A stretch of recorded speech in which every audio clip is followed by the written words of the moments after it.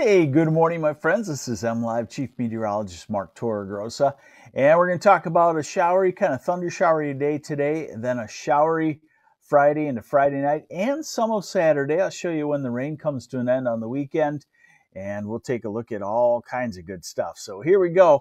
Uh, first thing I want to show you is the radar, and indeed, it is a, a showery morning.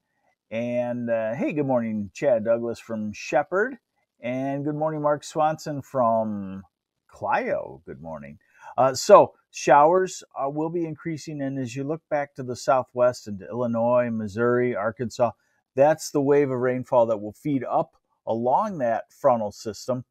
And indeed, it is kind of a dreary day on the way. My wife looked out the window. She said, Oh, another dreary one. And I said, Yeah, we're getting to that dark time of year. Hey, good morning, Marcus Ambrosi.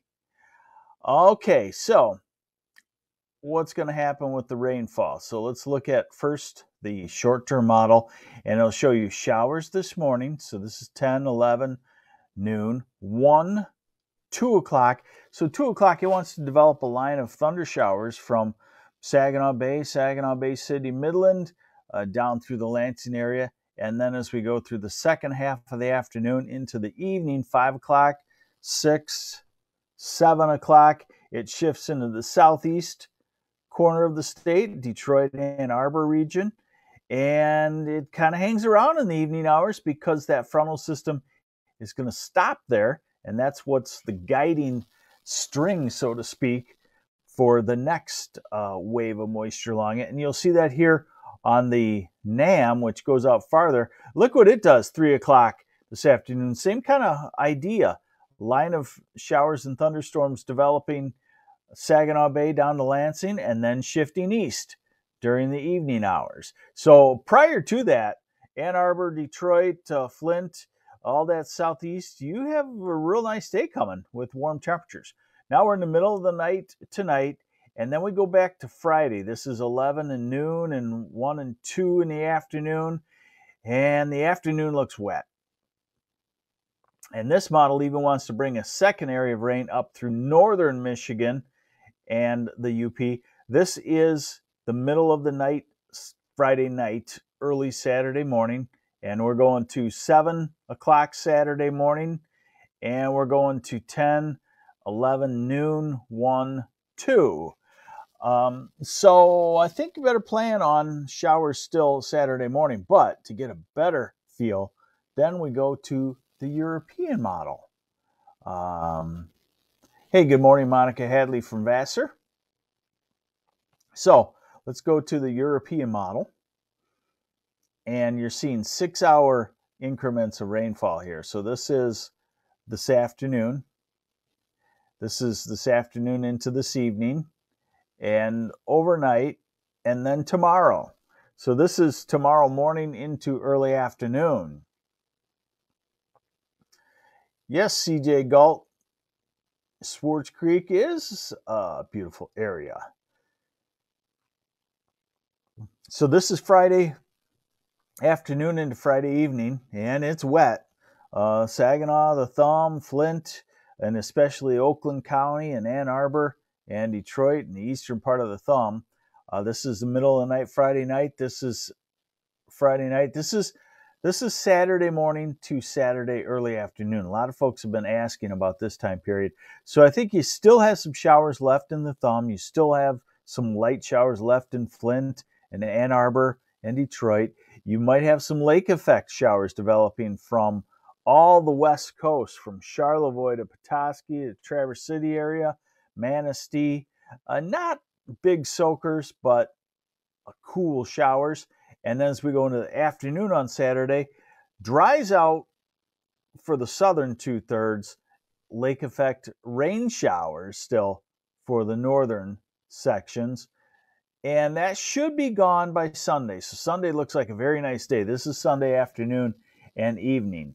Anita Grimm, I know it, we are in a quite a wet pattern.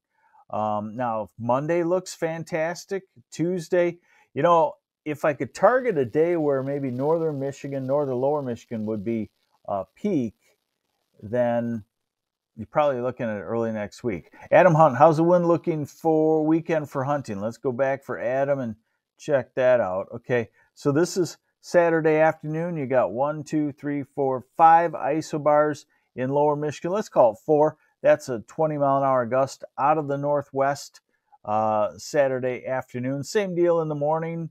Uh, let's go to evening, about the same northwest wind dying down. And then let's go to Sunday for you. And it's still a northwest wind at about 10 to 20 miles an hour. So, northwest winds generally through the weekend. This is Monday and Tuesday look great. Uh, Wednesday afternoon and evening, a burst of little showers comes through. Cooler temperatures indicated by the European deterministic run, but the ensemble average of all of the iterations of it still shows us staying warmer than normal. Hey, Walt Mellon from Swartz Creek, good morning to you. How much rain? And thanks for joining me on the M Live Morning Weather Update brought to you by Consumers Energy. It's meteorologist Mark Torregrossa. How much rain? This is into Friday evening.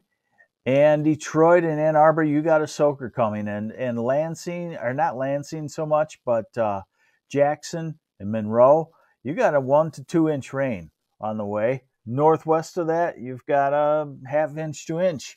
Grand Rapids and Lansing, Saginaw Bay City, Midland, and the Thumb.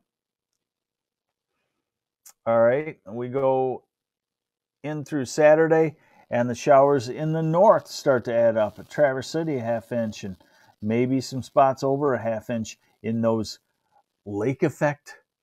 Well, I guess we got to we know them as snow belts, but lake effect belts up in the northwest. Temperatures today almost 80 degrees. Ann Arbor and Detroit, and 74 in Saginaw, and 69 in Grand Rapids, and 67 in Traverse City. And then tomorrow, with the clouds and the rain around, it's only in the upper 50s in the south. Elsewhere, it's in the mid 60s, low 60s. Saturday's cooler. Northwesterly wind, clouds, drizzle. Hey, Herbert Gibson Jr. and Saginaw, good morning to fellow Sag Saginawians? Sa- Saginites? Mm, I don't know. Uh, let's see. Sunday, about 60 degrees, fallish. Monday in the mid 60s, Tuesday mid to upper 60s, Wednesday in the 60s. Now, this deterministic mode again, remember, brings cooler air in late in the week next week. Um, but a lot of the others show that that's not going to happen. So we'll just kind of have to wait and see on that. But prior to that, it looks like we have some fairly mild weather because remember, every day that we stay in the 60s, our average, our long term average high is going down and it's eventually here in the next week going to get into the upper 50s. So when you're looking at 65, you're eight degrees warmer than normal or so and uh, quite mild. Do I see anything that's really bizarre hot for this time of the year? Not just yet, but We'll keep an eye on it. Friday night football in the Tri Cities, Brian Campbell, you're probably looking at uh, showers. Uh, probably not anything real substantial, but you could be wet out there. You could be on the chilly side too, with temperatures maybe in the upper 50s, something we're not used to. There it is. Thanks for joining me on the M Live Morning Weather Update brought to you by Consumers Energy. And we'll see you back here tomorrow. Take care.